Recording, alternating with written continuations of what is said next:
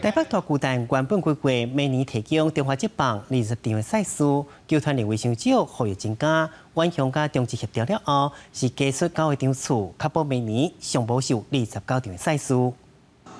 万向提出大巨蛋每年中职的形赛版本原本是二十场，甲今年三十八场比起来差不一半。协调了后，会为四种温的冬季播出六场和中职使用，嘛呼吁万向公开每年摆停，确保每年会能提供四十场以上的运动赛事。